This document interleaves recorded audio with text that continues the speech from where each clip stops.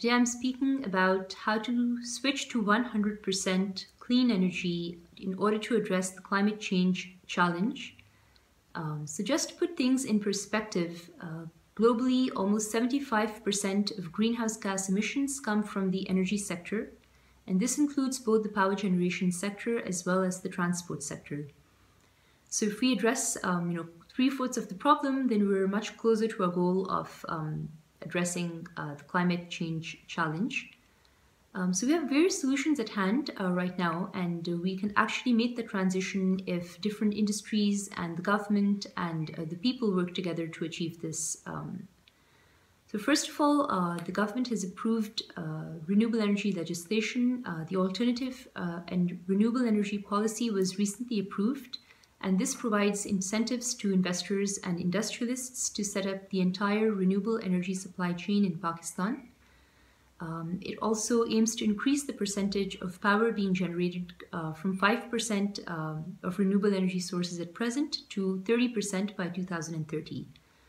Uh, secondly, net metering legislation is also in place and increasingly homeowners are being encouraged to um, install solar panels on their rooftops uh, so that they're, they're, actually producing their own electricity. Um, and in times of excess capacity, you can sell the excess power back to the grid um, and actually save on your electricity bill.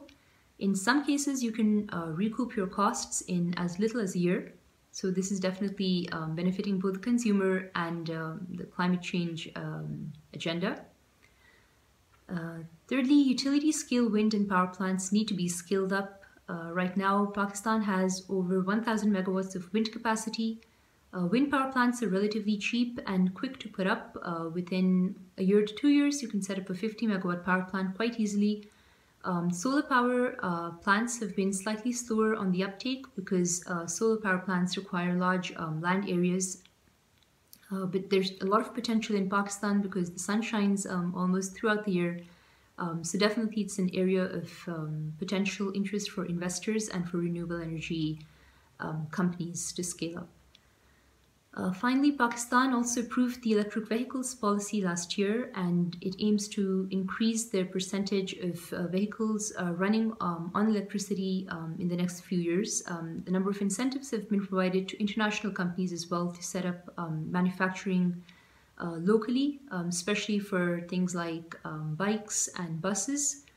Um, so if we are able to make that transition um, to electric vehicles in the transport sector, and this is part of a growing, uh, growing movement uh, worldwide, then this would take care of um, a significant proportion of our um, greenhouse gas emissions. Um, and finally, the government really needs to invest in smart grids infrastructure. Uh, so right now our grid is um, quite outdated and, uh, you know, as you're probably aware, so solar power and wind power are intermittent renewable energy sources.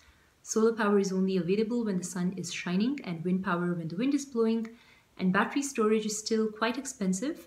So we need to be able to program our grids in order to better predict when solar power will be available, when wind power will be available so that we can dispatch um, these renewable intermittent sources quickly when needed and take advantage of our renewable capacity as opposed to being dependent on things like coal or natural gas.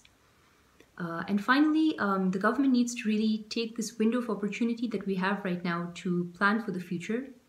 So Pakistan has tremendous hydropower capacity. Um, almost 60% of our renewable energy, or actually our power needs, can be met through hydropower. And um, because we're in an energy surplus um, scenario right now, thanks to CPEC projects, um, if we plan um, you know, 10, 20 years ahead, we can really green our energy supply chain and make that transition to 100% clean energy going forward. And then on an individual level, um, what we can do is you know make small changes in our lifestyle um, use electricity during off-peak hours so during the daytime instead of the nighttime when it's also more expensive and uh, more um, expensive to produce and to use.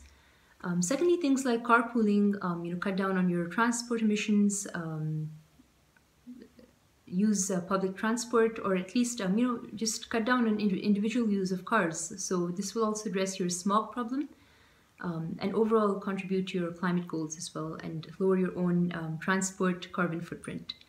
So thank you so much for the opportunity to, to present here um, to TEDx and to the LCWU platform.